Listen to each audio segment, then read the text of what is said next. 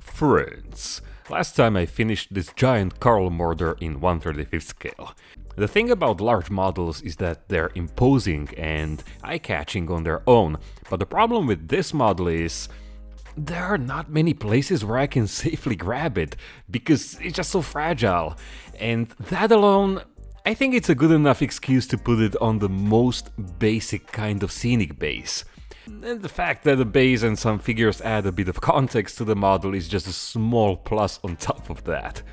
Now, even the most basic scenic base with this type of model is gonna be massive. I'd love to build a large diorama with the munition schlepper and everything, but I don't have the storage space for that kind of scene, and I'm not feeling like doing another subject in Panzer Grey either. To make the base a bit more interesting, I opted for an oval shape instead of the traditional rectangle. I mean, I've done a few of these last year, and as some of you correctly pointed out, they were ellipsoid shapes, not true ovals. Yeah, you were correct, but this should be a nice oval with all its bells and whistles, right? I think I said it once or twice already, but double-sided tape is a great tool that every diorama modeler should have at their disposal. It's cheap, reliable, and it creates an instant bond. This foam has a perforated texture that isn't very bond friendly so to say, and some heavyweight measures had to be taken to ensure the cardboard will stay in place. So what's the point of this you might ask? Well, those of you who have seen some of my previous dioramas know that the cardboard works as a cutting template for the hot wire. You see, the temperature is hot enough to cut through the styrofoam, but not enough to burn into the cardboard. Of course, hiccups can happen, sometimes more, sometimes less, sometimes the cutout is always absolutely perfect, and in this case, well, it's not great. In fact, it's not good at all but you'll see how it doesn't affect the final result. What counts the most for me is the box art that's gonna live forever as a part of this diorama, especially the sneaky gentleman in the corner. This picture caught my attention because it's probably the only one showing the mortar sitting on some kind of artificial hill of sorts. So that's pretty much the only terrain feature I could add to this scene, and for this task I had to use my large foam cutter from eBay, because it's almost three times as tall as the Proxxon one. And because it's so clunky, I have to use it in the kitchen, but anyway. okay, this is the most I could do in the styrofoam department. Let's now prepare the surface for texturing, and as usual, I'll start with acrylic diorama paste from AK. This one is my favorite because it can be used for heavy mud accumulations on armor models and it works perfectly as a grip paste in dioramas. It comes in a giant bottle too, so there's plenty of stuff for many projects. It's very gritty and that makes it perfect foundation for the next layer. Smart Mud from VMS is the most magical, most user-friendly terrain sculpting material I have ever had the pleasure to work with. Is there a shape you can imagine? chances are Smart Mud can recreate them. Although in this case I just had to spread it evenly over the surface because the ground under the mortar has to be completely flat. You can grab this magic pot of clay at mishtoy.com and you'll get a 15% discount if you're a registered user and use the promo code MFRIENDS2023. But it's a bit sticky until it starts solidifying, and to make the process easier, I sprinkle it with fine real earth from my garden, trademark. However, in the most unforeseen plot twist in history, the thin, even layer of clay wasn't enough to make a realistic impression with the model. No worries though, I'll work my way around it. Adjusting my plan, I covered the remaining areas with it. This time I wasn't worried about the evenness of the ground. The only area that has to remain completely flat is directly under the hull because the mortar is sitting right on its belly. Also, the thicker the layer, the easier and more pronounced the track impressions will be. More real earth to ensure the clay won't get stuck to the model, and we're ready to make the most out of this piece of real estate. The hull can be now pressed much deeper into the ground, and this is something I always make sure to get right, because nothing breaks the immersion for me than a tank, or in this case a 120 ton mortar, levitating above the ground. I'll integrate it even more into the base, but for now, let's add some more imprints. I kept the original rubber track from the kit for this very purpose. In fact, you can put this type of track into your spare box for diorama purposes, especially when you're left with something very generic such as Panzer IV or Sherman tracks. And while I had the model sitting in place, I pushed the clay very gently against the tracks. It's just one of many ways of blending it with the scenery.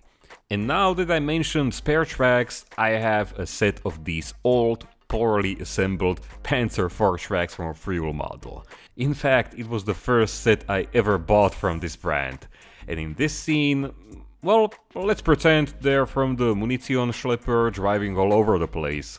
And I also added some shoe prints where the crew would climb onto the vehicle, trying to maximize the visual storytelling on this limited surface.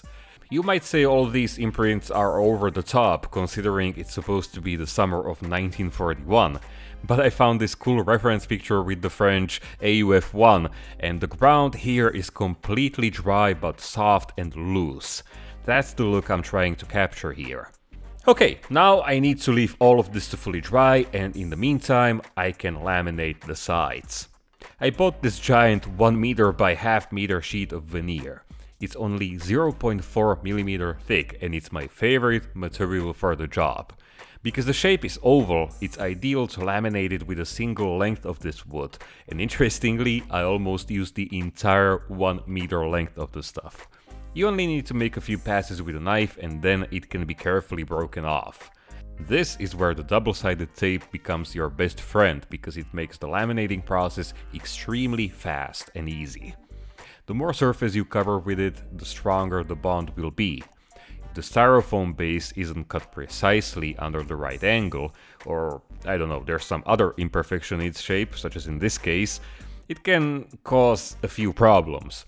But so far everything always turned out well as long as I made sure the bottom edge of the veneer was kept flush with my workbench. I couldn't be bothered to measure the exact length because I could easily overlap both ends and used that to measure the excess. Then I simply peeled it off, although simple is not the most accurate word here. I mean, at least it shows how strong the double-sided tape is. And then I snapped off the excess. Then I just retaped it back, and the result was pretty much perfect. Uh, okay, the only downside was the visible joint, but I reinforced it with superglue, and later I filled and sanded it with acrylic wood putty. Now we come into the problem with those poorly cut sides of the base, but the veneer is so strong and accurate that it pretty much fixed the whole issue. The resulting gap is the difference between the veneer standing at the right angle and the inaccurate styrofoam base, but all of this is easy to blend with more of the VMS Smart Mud. I left it for a few hours dry and then I could remove the excess wood. First a rough cut with an old pair of scissors. OGs of this channel might probably recognize those as my favorite tool for removing kit parts from sprues.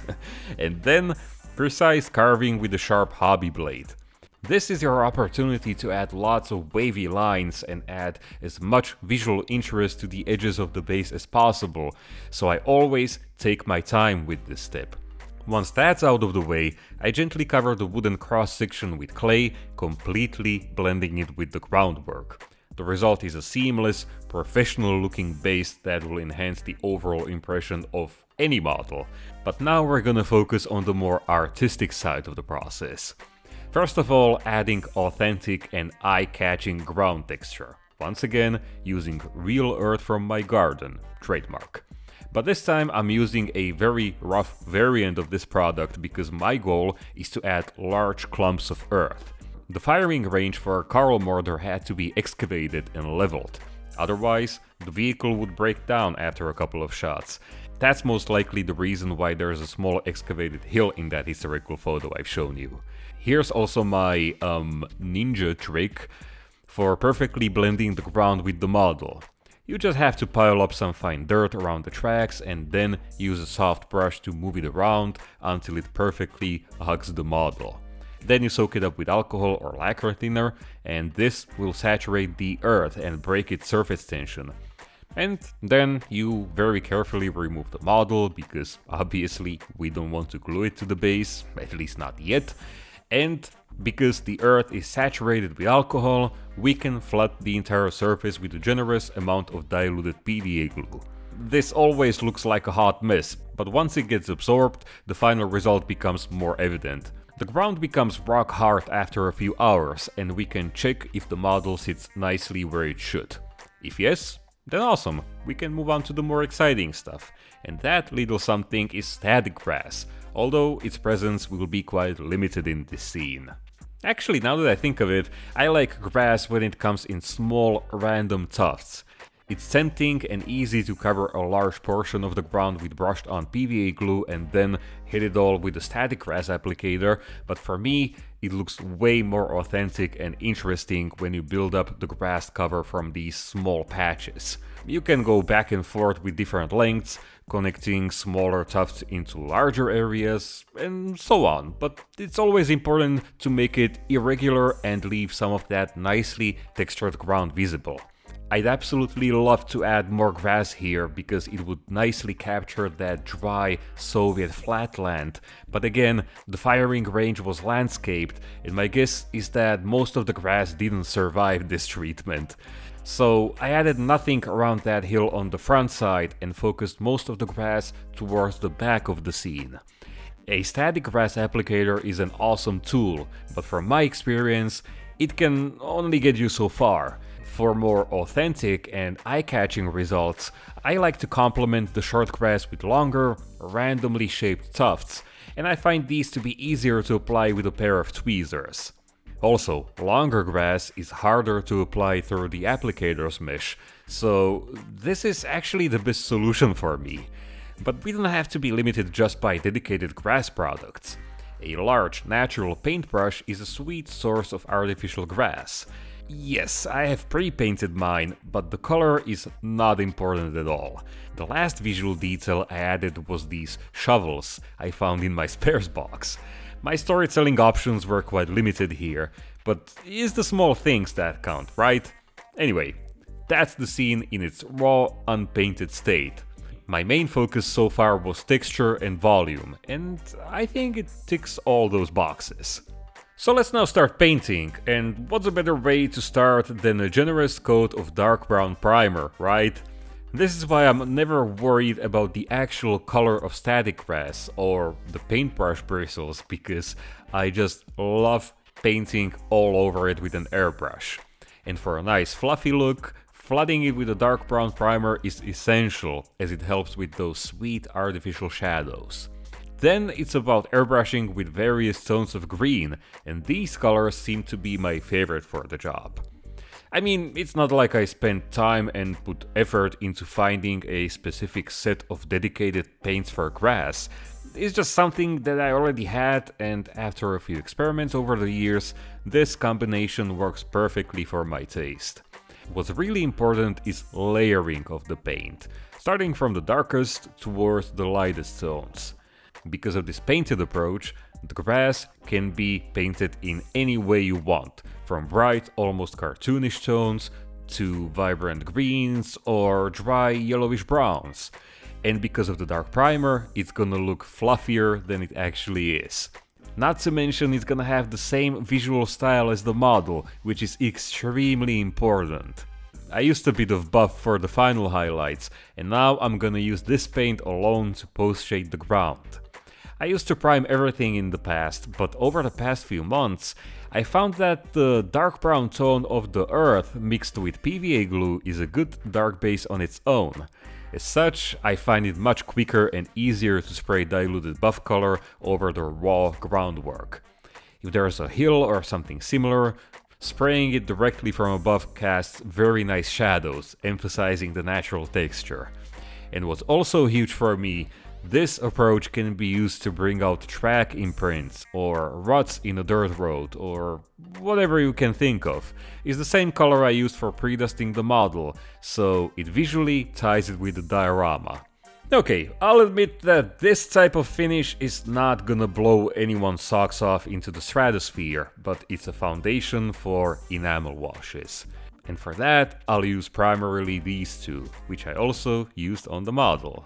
The key is to apply them very diluted with enamel thinner, something, uh, something along these lines. The amount and consistency of the enamel washes completely depends on the type of terrain you're painting. If this was a damp autumn setting, I'd be more heavy-handed with their application, although I'd still use the same light dusty color for the airbrushed base coat. Because this ground is supposed to be dry and loose, I used them to enrich the surface with more hues and to bring out the textures even further. Note that I kept the model on the base the entire time, because this way it's much easier to match the effects on the ground with the weathering on the lower hull, especially tracks and wheels. I mean, check out how much more visually interesting it already looks as I'm applying a dark brown wash around some of these stones and some of those tufts of grass. It's, I mean, it's pretty sweet, right? I'm telling you, it's so easy and definitely worth trying out. Well, the good news is that the ground looks very nice and has the same visual vibe as the model, but I think it would be a shame if I didn't make it really crispy. Acrylic paints are very good for this next job, and I think it's good to experiment here on your own, because then you can find and create your own unique color palette. I mean, here's my favorite selection if you're looking for a starting point. There's a something very satisfying about picking out those small stones and clumps of earth with a paintbrush. But I'm not gonna lie, it takes time. Here, check out the sped up version so you'll have a better idea about the process. You can really crank up the visual detail on the ground to 11 with this technique. But not only that, it's very powerful if you want to define specific terrain features. For example, I didn't have to use a single pebble in this scene, because the larger clumps of the earth actually kinda look like miniature stones. It was just up to me which ones to pick out with a more grey tone to make them look like actual miniature rocks. I focused most of these fake rocks towards the hill, where they would be most likely excavated from the ground. And also a small pro tip, if you don't want to feel overwhelmed with the process, just break the base into small imaginary sections and focus on them one at a time. The process becomes much more enjoyable when you can see instant results, even if they're just on a small section. And let's now get back to enamels one more time. This light one, that's the one I used for the dry dust tones on the model, and here I'll use it for dry brushing. You have to be very careful with it because it can be quickly overdone, but when you've got it under control, it brings out pretty much everything. That's really cool, but what's even better, it gives those painted rocks a very realistic look. That's actually something I didn't really like about my older dioramas, where the rocks looked a bit cartoonish.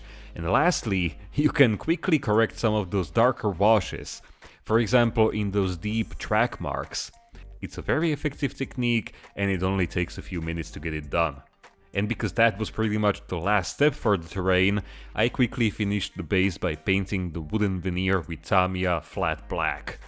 I tried cheap household paint on some of my previous scenes, but it rarely dries to a completely flat finish, even though it's marketed as flat paint. So I'd rather spend more on a high quality product such as Tamiya. Anyway, that's our base right there, my friends. It's simple yet huge, and I think it'll serve its purpose, which is displaying the model and giving it some context. But I want to show everyone how large the vehicle actually was, and for that I need a banana for scale, aka figures. I painted them using my traditional method, a generous coat of black primer over the entire figure, especially all those folds and shadowed areas, followed by a gentle spray from above using deck tan. It's not as aggressive as pure white, so it leads to more natural results later down the road, but the gist of the technique remains the same on all my figures. But I always enjoy looking at pre-shaded figures because the technique brings out just everything, you know, and I mean absolutely every little detail the sculptor created. Now I'm just gonna give you a very basic rundown of my approach. If you want to learn more about this method, I have a very detailed video where I try to explain every aspect of painting figures, at least painting them my own way. The technique is always the same, I just use different colors depending on the uniforms. So, the foundation of everything is a multi-layered glaze over the pre-shaded surface.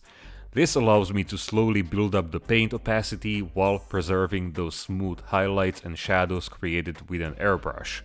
In this case, I needed only 3 layers for the field grey pants. Although the airbrush does a good job with those details, I still like to outline them with diluted black brown. It's basically a pin wash and it's good to do this first, because any mistakes, and I always make a few of them, they can be easily fixed with highlights. Then I dilute the paint even further and carefully brush it into all those shadowed areas. This enhances the three-dimensional look of the figure and you can easily add multiple layers if you want to have those super deep shadows in some places. And finally, I make a single highlight color and apply it very sparingly on those light areas. This one was mixed with field grey and a lot of sunny skin tone.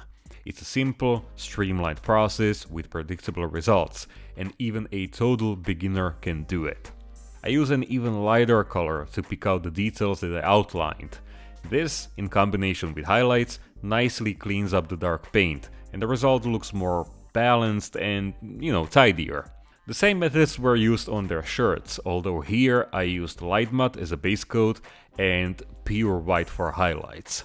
I mean, there's a lot more to talk about, but again, I explain everything in that tutorial that I mentioned, so if you're interested, just check it out.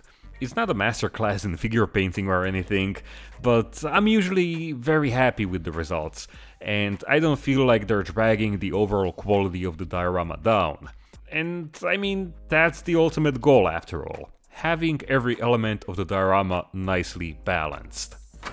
So anyway, my friends, that about does it for tonight.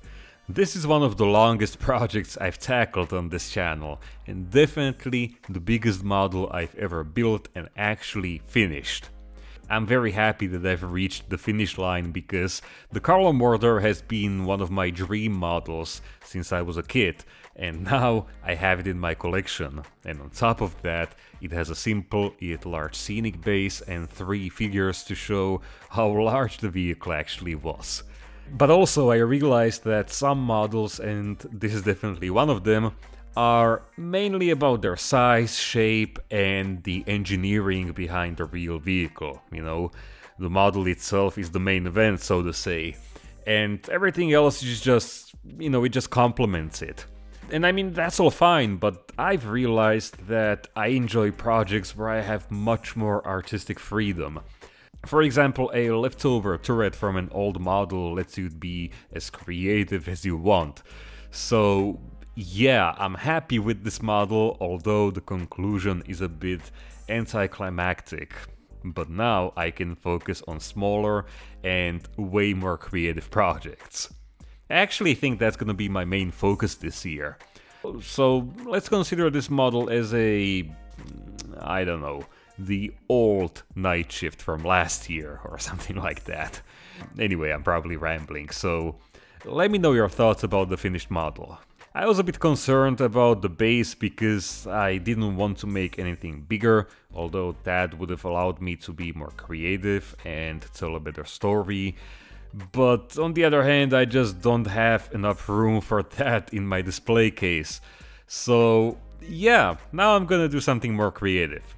Until then, I want to say thank you for watching, and a special thanks goes to my wonderful patrons who make this show possible. If you like what I'm doing and actually want to get more of it, and in return support my work, you can go to my Patreon page and see what kind of reward would you like. I'm posting there almost every day with updates from my workbench, we can get in touch through DMs, comments and emails, I'm posting one week early ad-free videos. I also have some small 3D models for detailing your projects, a bunch of references from the real world if you need inspiration for old buildings, landscapes and so on. And last but not least, these beautiful studio photos which you can download in full resolution. Alright, dear friends, I'm gonna clean my studio now and grab something really small. Something where the fun factor is high and the workload pretty manageable. I also received a beautiful Machine & Krieger kit from my friends on the Plastic Posse podcast, so I'll definitely build that as well. And you all stay safe, stay awesome, build those models, don't just collect them, and stay tuned. Cheers!